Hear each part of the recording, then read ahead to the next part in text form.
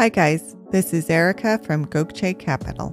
Now, before I begin, be sure to click subscribe and turn on the notification bell. In 2018, Phoenix realtor John Wake noticed a large number of homes were being snatched up by Zillow. John's friends spoke fearfully about the trend, for it seemed nothing could halt the company's growth. Yet then, it all stopped. So, what happened to Zillow's touted iBuying campaign? We'll find out at the end of this video. But first, if you are buying a property as an investment, it's vital that you complete a thorough market analysis.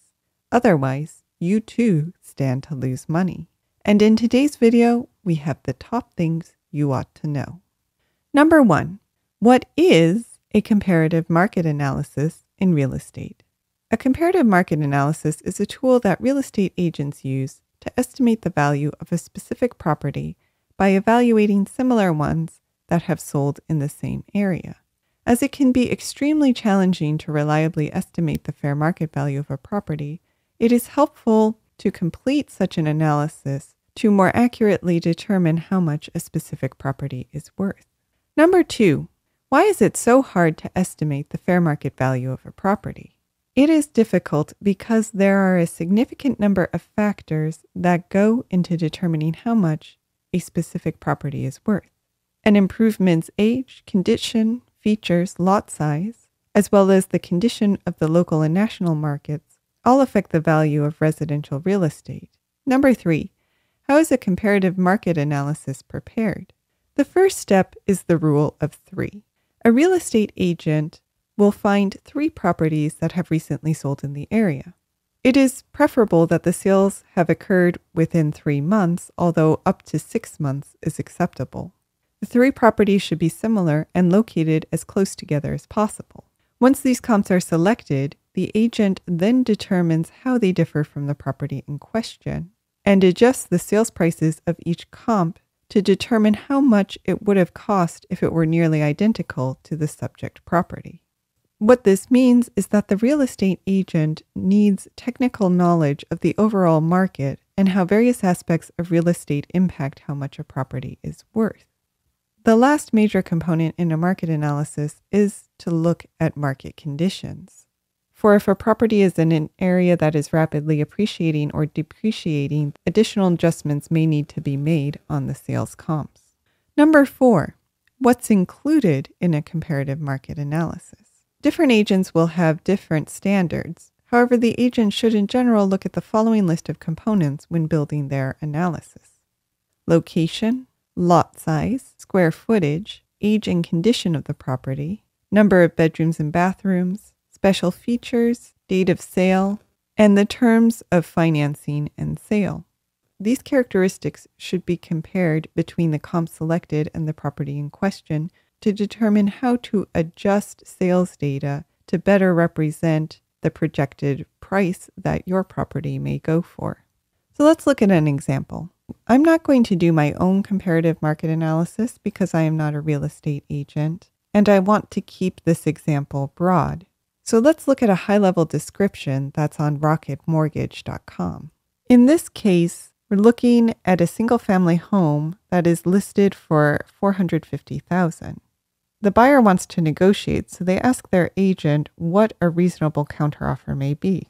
The agent then gathers data on three comparable properties that were sold in the last six months. The agent finds the price for each of the sales and then compares the characteristics between the properties in the comps and the property in question.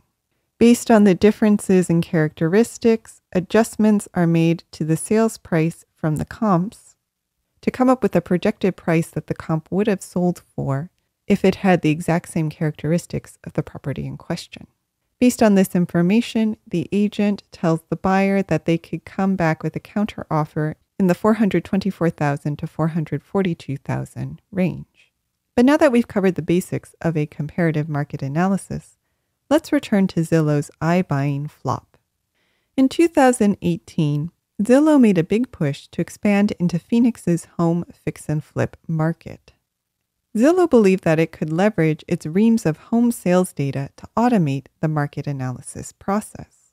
The idea was to use an algorithm to value and buy properties, which would later be resold after they received light renovations. Over the course of three years, Zillow, along with other iBuyers, grew to over 6% of the home market share by 2021, which is why John Wake and other Phoenix realtors were worried. Every sale executed by Zillow meant a lost commission to one of the city's real estate agents, and Zillow continued to scale at an exponential rate. The company's goal was to buy 5,000 homes a month by 2024, and in the second quarter of 2021, Zillow managed to double the number of homes it purchased over the previous quarter.